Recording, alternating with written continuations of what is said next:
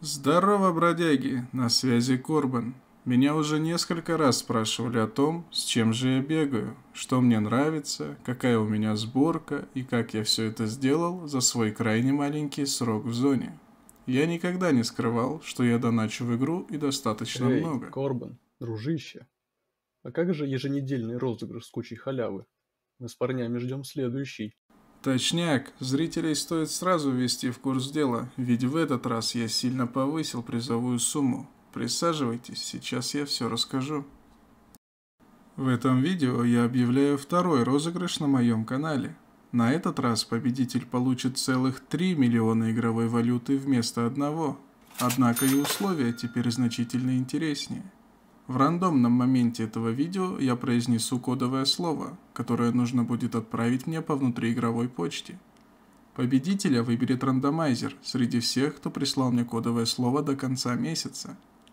Также приз не будет выдан человеку, который не подписан на канал и не оставил лайк и комментарий под этим видео. Я всем желаю удачи, ну а мы, пожалуй, перейдем к нашему обзору. Попал в зону я буквально пару месяцев назад – да в зону же, а не на зону. Отчуждение которое, ну... Так вот, опуская начальные подробности и единичные случаи изнасилования в баре, перейдем к тому, что мое внимание сфокусировалось на группировке наемники. Признаться честно, причины такого выбора достаточно лаконичны. Мне близка их идеология и симпатичен визуал. Для того, чтобы эти бравые ребята меня приняли к себе – я пришел разговаривать с самым крутым бигбоссом этой фракции, в надежде, что уже завтра пойду на север в составе группы из четырех штурмовиков. Здравствуй, дорогой. Присаживайся. Здравствуйте. Я бы хотел вступить в вашу группировку. Еще успеешь. Но для начала я задам тебе несколько вопросов. Конечно, я слушаю. Два плюс два. Ну, четыре. Твой любимый цвет. Ну, голубой так-то. Стоп, что? Я пришел вступать в военизированную группировку. Какого сена я заполняю анкету Машки из параллельного? Ой. Ладно, принят, короче. Вот так и прошло самое сложное собеседование в моей жизни. А в кадре у нас Ромео. Он выступил в роли моего наставника. Пожалуй, присяду рядом со своим корешем. Ромео, о Ромео, мало таких, как мы, в зоне осталось. Вокруг сплошной шкурный интерес. Все продаются и все покупаются. Стоит одной фракции потерять базу, и вот уже огромная толпа топчется на пороге другой, с извинениями и лозунгами принять под свое начало. Но мы же не такие, брат, верно? Разве можно стрелять в товарищей, которые еще вчера прикрывали тебе спину на выносе? Вот и я так думаю. И поэтому мы с Ромео выражаем респект всем, кто топит за свою фракцию и группировку до конца. Тем временем на базе наемников я обустроил себе комнату, но в нее постоянно заходят какие-то люди. Убедительная просьба – перестаньте садиться ко мне на кровать.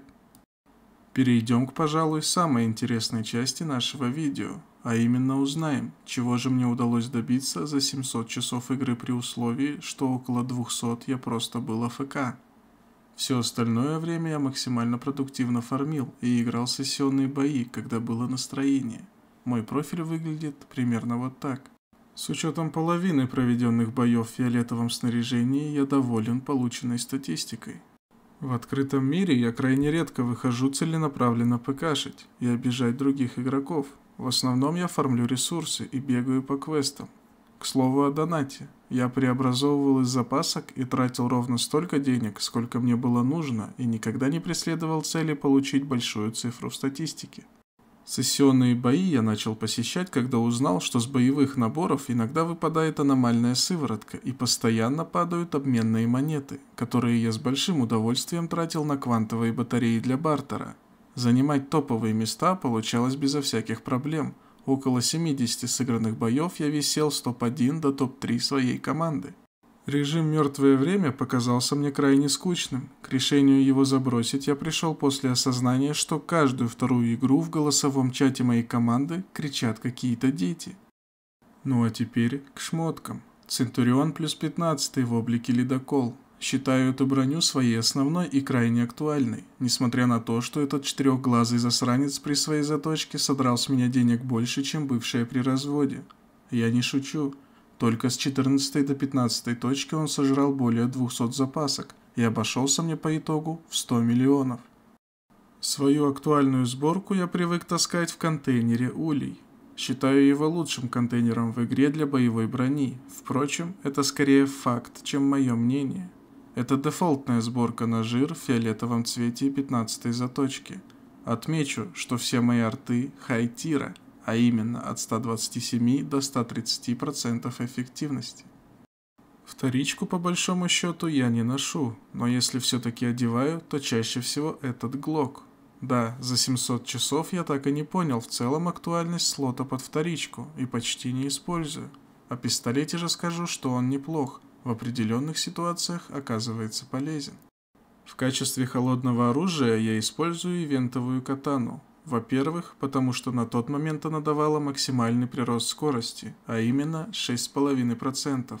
Во-вторых, я латентный самурай и очень ценю ее за эстетичность. Сама моделька, анимация, звук, прекрасно все. До сих пор менять ее на что-то лучшее у меня не возникало желания. Ну и, пожалуй, мое самое любимое оружие в игре – в ССМЭ, а точнее, винтовка снайперская специальная модернизированная. Оружие также имеет 15-ю заточку, и порой я сомневаюсь, альбатрос-штурмовик у меня в прицеле или кусок масла. Визуально и тактильно одно из самых приятных оружий в игре. Кстати, на эту винтовку есть отдельный обзор на моем канале. Так, где он у нас? А, вот. Также моим основным оружием на ближней дистанции сейчас является новогодний ФАМОС. Тактильно оружие не менее приятное, но визуально. Какой же это ублюдок.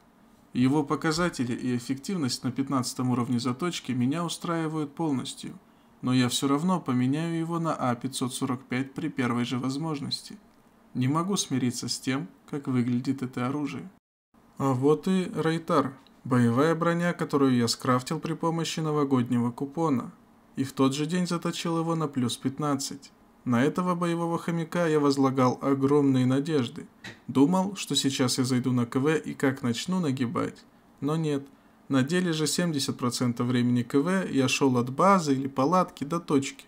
Туда и обратно. В общем, отлично подойдет для пассивных дедов, которые привыкли, играя в танки, 10 минут ехать и 2 минуты воевать. Сейчас же я использую его исключительно на сессионках, и то далеко не всегда. К слову, я совсем забыл о приведенке. Без бафов показатели у вас на экране. В Центурионе выходит 545, в Рейтаре 595. На деле же под бафами Центурион выходит в 560 приведенки при 110% скорости – Рейтар доходит до 620 приведенки при 100% скорости. Это уже не актуальное оружие, одно из первых купленных для игры на полумостах. Достаточно приятный ствол, но, к сожалению, сейчас на ближней дистанции его переиграет даже фиолетовый глок, а на дальней дистанции он не выдержит конкуренцию с СТС или ВСС-М. В общем, убрал его в долгий ящик. Ну а это оружие актуальное, используется исключительно для фарма ресурсов и ивентов. Барабан – ну просто вещь. Ни разу не пожалел, что потратил на него бюджет маленькой африканской страны. Ну а это мой комшляфенных велихт. Именно это приходит в голову, когда встречаешь противника в этом костюме. Сбартерил, чтобы лутать артефакты в комбе с Эльбрусом. Держит четвертое заражение, и ладно. На деле же я одевал его раза три к брату на свадьбу – а Эльбрус за 700 часов заряжался раз пять. Протекту я использовал до того, как меня посетила мысль приобрести себе АА-12. Заточена на плюс 10, и даже при этой заточке псевдогиганту в Лиманске прилетает апперкот Валуева. Тактильно менее приятный дробовик, но черт возьми, он очень эффективен. Переходить с него на ту же ААшку не стоит, если у вас нет для нее барабана. Я думал, что в этом костюме мимо меня не сможет пройти ни одна плоть. На деле же он отлично подходит только для того, чтобы снимать ролики на YouTube или заниматься фармом пиздюлей на любых локациях. Разведку я приобрел с целью таскать клановые паки и паки на редкие ресурсы. Судя по тому, что за 700 часов у меня в профиле 16 доставленных посылок, я наебал себя сам. Однако она иногда нужна мне, чтобы закрывать квесты, ну или валяться шотнутым под РЛС, раз на раз не приходится. Ну и конечно же, как у всех донатеров, у меня есть крайне нужные мне контейнеры, которые я никогда не использовал и вряд ли начну, берлога 6У и КСМ.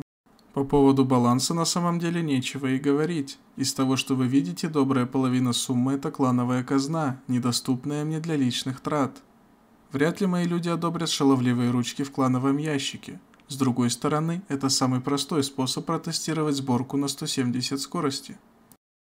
Вот тут есть всякие брелочки, красочки. Я пролистаю, а вы сможете понаблюдать. С учетом моих пары месяцев в игре, что-то действительно интересное тут вряд ли найдется. Дальше идут различные расходники для PvP, в том числе тонны разных СБП патронов и алкоголя. Да, эта игра почему-то усердно настаивает, чтобы на перестрелку вы приходили пьяным. Наверное, трезвым играть в это просто невозможно. Вот, собственно, и склад всякой ерунды. Криомансер на самом деле достаточно актуальный слот холодного оружия. Выглядит очень интересно и имеет достойные статы с уникальными характеристиками. Но не стоит забывать, что я все же латентный самурай. Далее у нас идет ручная петарда, выдаваемая за призовые места на новогоднем ивенте. Когда я только ее увидел, подумал, что мою катану все же придется заменить. Делать бум-бум по шапка дубиной казалось непривлекательным. Я уже даже представлял, как размашисто бью разведку на Янове, а долетает она аж до бара. Однако баф к скорости лишь 4% заставил меня передумать. А это у нас шайтан-машинка под названием ПП Орех. Аббревиатура ПП означает «пистолет петушары», потому что никак иначе я не могу объяснить то, что происходило на сессионках с аборигенами, которые неожиданно в себя поверили. Прижигатель, по сути, аналог Криомансера, только, как по мне, с еще более интересным визуалом. Достойные стандартные и уникальные статы делают его также актуальной холодкой. Наличие этого облика у меня на складе – чистейшая случайность, особенно при учете того, что FN и тем более FN Tactical у меня никогда не было. Однако то, как это выглядит, мне очень нравится, достаточно футуристично. Особенно хочу отметить квестовый костюм, совсем не тот, который я хотел. А дело все в том, что не нужно ковырять носу и скипать диалоги во время прохождения сюжетной линии. То, как я доволен костюмом, отображается у меня на лице. Ну а на этом, в общем-то, все. Не забывайте о розыгрыше, они на канале регулярные. И к нам на КВ, если есть желание, можете залетать. Требования не слишком высокие. Я также призываю наемников не раскисать и отстаивать свои позиции. Наше дело правое. Спасибо за просмотр, дружище. Поставь лайк, если видео тебе понравилось. Уверен, с тобой мы еще не раз увидимся на просторах зоны.